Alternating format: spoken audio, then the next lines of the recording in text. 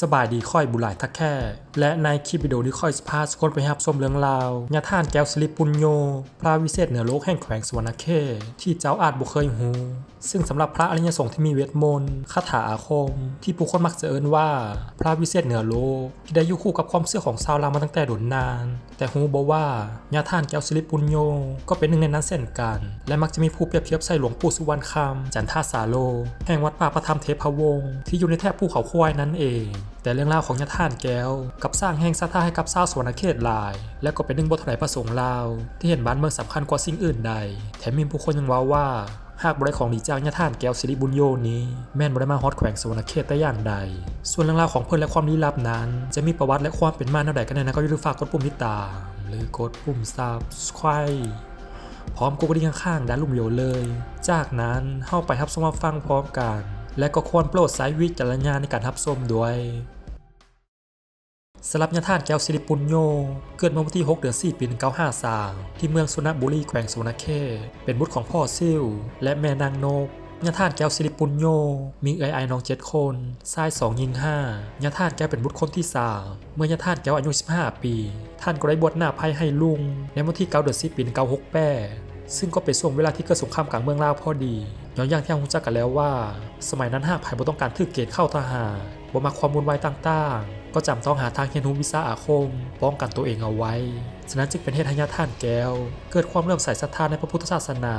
พอมาฮดอายุ20ปี จึงได้ฮดส่งเป็นพระหรือคู่บาอยู่วัดป่าประทัดโพลงาม ในวันที่ 6 เดือน11ปี 1973 ส่วนหวยที่ต้องตรงมาที่วัดแห่งนี้ ย้อนพื้นที่วัดโพลงาม มีประวัติและความลี้ลับเป็นอย่างยิ่ง มาตั้งแต่สมัยยุคของขอมบูฮาน โดยเฮาคงเคยได้ยินตำนานทากเท้าผาแดงและนางไอ แห่งเมืองหนองหานหลวง หรือจังหวัดสกลนครในทุกมือนี้ แต่เชื่อบอกว่าที่มาของตำนานดังกล่าว ก็มาจากในวัดแห่งนี้นี่เองย้อนได้มีกับกดหูปันของเท้าผาแดงและนางไอ ปรากฏให้เห็นตามคำบันทึกของพงศาวดารลาว แต่เรื่องราวจะแตกต่างกันเล็กน้อยเนื่องด้วยตำนานดังกล่าวจะกล่าวว่าท้าผาแดงเป็นสาวคอง และนางไอเป็นสาผู้ไทยเฮ็ดให้ในพื้นที่วัดประทัดโพลงาม อาจเคยเกิดน้ำท่วมใหญ่ในครั้งอดีตก็เป็นไปได้ย้อนได้มีการค้นพบพองห้อยลักฐานซากหักปักพังต่างๆ พร้อมกับสายน้ำขังในบริเวณนั้นนำวัดพระธาตุพลงามสันนิษฐานว่า สร้างขึ้นเกือบรุ่นราวคราวเดียวกับพระธาตุพนม ในจังหวัดพระธาตุพนม เมื่อปีพศที่8ในสมัยอาณาจักรสีโคตบอง ที่ชาวบ้านในบริเวณนั้น ได้เก็บสะสมสมบัติไว้ เพื่อบรรจุใส่พระธาตุพนม โดยมีทรัพย์สมบัติประมาณ7ลำเกวียน หลังจากนั้นเส้นทางคมนาคมในช่วงนั้น ก็ค่อนข้างไปมาลำบาก แล้วก็บ่ทันกับความให้ของต้องการของเพิ่น เมื่อพระธาพนมสร้างแล้วแล้ว ก็ได้มีการแจ้งท่านว่าเรื่องวัตถุเข้าของเงินคำหรือเจ็ดลำเกวียนนั้นให้เอาไปไหว้ฮอจุดใด แล้วให้เมียนไว้บ่อนนั้น และต่อมาก็ให้คูดเอาดินมาคูนไว้ แล้วขอเป็นพระเจดีย์โดยสมบัติดังกล่าว ต่อมาก็มาฮอดที่ประทัดโพลงามในปัจจุบัน และพวกเขาจึงเอาดินจากหนองโง่นหรือหนองสลาไปทับถมทรัพย์สมบัติดังกล่าวจนเป็นเหตุให้มีการตั้งฮักฐานยู่วัดแห่งนี้พอเมื่อครบ 3 เดือนเพ่งจะเป็นการเฉลิมฉลองพระธาตุพนมแต่ในเดือน4เพ่งของลาวจะเหตุการเฉลิมฉลองวัดพระธาตุโพลงามเช่นเดียวกัน ซึ่งหนึ่งในพระอาจารย์ที่ได้มาบูรณะพระธาตุแห่งนี้ แม่นพระอาจารย์ใหญ่มหาปานอนันโท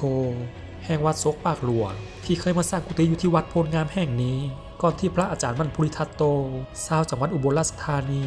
ได้อัญเชิญพระอาจารย์ใหญ่มหาปานอนันโท ขึ้นเมื่อวัดโซกป่าหลวง เพื่อไปตัดเหล็กไหลที่ภูเขาควายแขวงเวียงจันทร์เฮ็ดให้พระอาจารย์มหาปานอนันโท ที่อยู่วัดประทัดพลงามบ่อนโดนก็เลยได้จากลากขึ้นเมื่อเวียงจันทร์คือเก้าสนัญญาท่านแก้ว จึงได้เลือกใส่วัดแห่งนี้อย่างบ่ต้องสงสัยญาท่านแก้วได้ตั้งใจทำเฮียนวิชาอาคม วิปัสสนากรรมฐานต่างๆ อัคระเล็ดงานจนแตกสาและหูแจ้งเห็นจริงอย่างกับมีตาทิพย์ จากนั้นวัดโพลงามก็ได้กลายเป็นสถานที่ปฏิบัติธรรม และเป็นบ่อนลี้ลับอีกสถานที่หนึ่งที่น้อยคนจะได้หู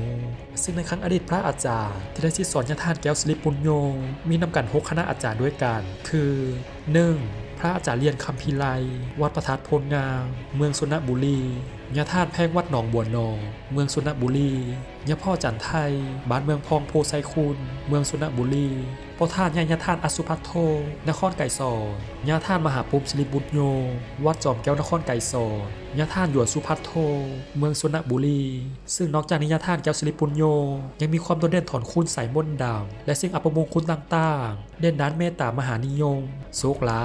ป้องกันหรือปลดปล่อยสัมภเวสีนองหลวง โดยความอภินิหารของยาทานแก้วสิริปุญโยได้มีการเล่ามาว่า เมื่อคนเจ็บไข้ได้ป่วย หรือคนบริสติที่ทางการแพทย์บสามารถรักษา พอเมื่อมาให้ยาท่านแก้วปิ่นปัวกับหายขาดยังหน้าเหลือเสื้อ แถมยาท่านเองยังสามารถปราบสัมภเวสีนองหลวงที่นองหลวงแต่ก่อนเคยเป็นบ่อนเคสพอสมควร แล้วก็มีมือหนึ่งที่ผู้คนตั้งใจไปหาญาท่านแก้วพ่อยากไปนับเพิ่อนเพื่อขึ้นศาลาพ่อเหลียวหลังน้อยเดียว เพิ่อนก็หายไปแล้ว ต่อมามีครอบครัวหนึ่งอยากได้ของดีของบูซาเพื่อเสริมดวงบารมีให้แก่ทางหารโดยญาท่านแก้วเลยไปตัดเอาหญ้ายุกแล้วหลังจากนั้นญาท่านแก้ว ก็ได้สูดมนต์ใส่กระตุกน้ำอนามัยหัวเสือพอสวดแล้วแล้วก็ได้จัดการทอกสัญญาญูจากกระตุกน้ำหัวเสือนั้น และพอเวลาผ่านไปแปดหาเก้าปี ต้นไม้หรือหญ้าญูทั้งเก้าซึ่งยังคงอยู่ในสภาพปกติ โดยที่ยังรักษาหูพางลักษณะเหมือนเดิม เหมือนกับดอกยาบุมีพิษและบุมีการเน่าเปื่อยแต่อย่างใด ซึ่งนี่ถือเป็นสิ่งน่าอัศจรรย์อย่างยิ่ง หรือแม้แต่การซักยันของเพิ่น ว่ากันว่าผู้คนที่ให้เพิ่นซักยันนี้ มีแต่โชคลาภร่ำรวย ทึกเล็กทึกหวยกันเป็นว่าลิ่มและผู้คนที่ได้ตะกูดหรือยันต่างๆของเพิ่นล้วนแล้วแต่แคล้วคลาดปลอดภัยจากอุบัติเหตุเช่นอุบัติเหตุรถยนต์ ที่สภาพรถยนต์คงบ่ต้องเว้าเถิงแต่คนนั้นกลับบ่เป็นอย่าง แต่สิ่งที่น่าเหลือเชื่ออีกอย่างหนึ่งก็คือพวกท่านแก้วหรือยาท่านแก้ว ได้พากันฮิมโฮประชาชนในการสร้างเฮือไว้เป็นจำนวนหลงหลาย โดยผู้คนก็ต่างสงสัยว่าบ้านท่าบุมีแม่น้ำที่เหมาะแก่การลอยเฮือที่สร้างไปเฮ็ดอย่าง คือเฮ็ดหลายแท้พ่อท่านพ่อท่านแก้วเพื่อนก็ยิ้ม และบอกว่ามีไว้ก็เป็นการดีขึ้นกัน พอดีปีต่อมาหลังจากเฮ็ดเฮือแล้ว ก็เกิดน้ำท่วมเมืองสุนบุรีมดบาน แบบที่บ่เคยท่วมจักเทื่อ และเฮือจำนวนที่เพิ่นเฮ็ดนั้น ก็เพียงพอให้แก่การช่วยเหลือประชาชนเช่นเบียงอาหาร เครื่องอุปโภคบริโภคต่างๆ เพื่อเข้าไปช่วยเหลือเครื่องทุกย่างในบริเวณนั้น ซึ่งพอหลังจากเกิดเหตุการณ์นี้ ผู้คนในบริเวณนั้นต่างสงสัยว่า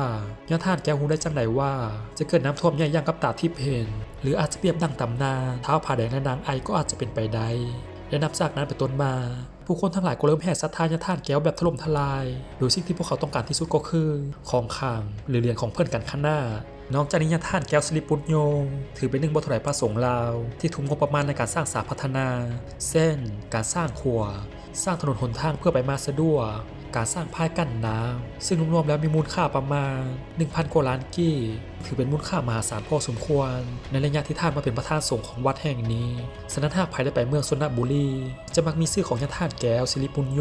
กำกับไว้อยู่เสมอโดยในปัจจุบันญาติท่านแก้วประสนอายุ 70 ปี ที่มีสุขภาพค่อนข้างแข็งแรงปราศจากโรคภัยไข้เจ็บส่วนหนึ่งก็มาจากการเป็นยู่ และคาถาอาคมของท่าน โดยที่สำคัญที่สุดจะสังเกตเห็นว่าญาท่านแก้วจะมีใบหูที่ยาว ที่เหมือนคนบูฮานมักจะกล่าวว่า เป็นผู้ที่มีอายุยืน เหมือนกับหลวงปู่เทพอุดรพระพิคุในตำนานก็อาจจะเป็นไปได้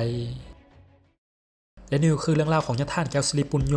พระวิเศษเหนือโลกแห่งแขวงสวรรคเขตที่ทางซ่องของไรตะแขกได้มารวบรวมกัน และนอกจากคุณงามความดีต่างๆของท่านแล้ว ในทุกมริยท่านแก้วสิริปุญโย อดีตเป็นประธานองค์การ พระพุทธศาสนาสัมพันธ์แห่งสปปลาว ในวัดป่าโพลงามแล้ว ท่านยังได้เป็นเจ้าเมืองสงของเมืองสุนบุรีนาม และถึงกันนั้นในวัดพระธาตุโพลงาม ยังได้มีการปลุกเสกเหรียญของเพิ่นที่เป็นที่ต้องการของผู้คนอย่างหลงหลาย และเพิ่มขึ้นนักมือ แถมการสร้างเหรียญนี้เอง ก็เพื่อเป็นการสมทบทุนในการสร้างสาพื้นที่ต่างๆ ภายในบริเวณเมืองสุนบุรีนาและสำหรับไผ่ที่ต้องการมากราบไหว้บูชาญาท่านแก้วสรีบุตรโย และเฮียนหูวิสาคมจากท่านก็สามารถไปเยี่ยมยามหรือแวะเที่ยวชมได้เลย ที่พระธาตุโพลงาม เมืองสุนบุรีแขวงสวรรณเขต ร้อมไปสัมผัสกับตนเองว่าอภินิหารของท่านทั้งหมดที่กล่าวมานั้น จะเป็นจริงซ้ำใด โดยนี้บุเสื้อกับบุคคลลบลู่ย้อนทุกอย่างล้วนแต่ทึกฟ้าลิขิตไว้แล้ว แล้วทุกคนเดมีความคิดเห็นอย่างไรเกี่ยวกับญาท่านแก้วสลิปปุญโย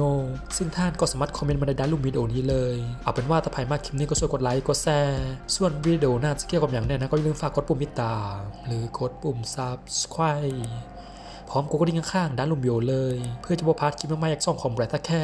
สำหรับมือนี้สบายดี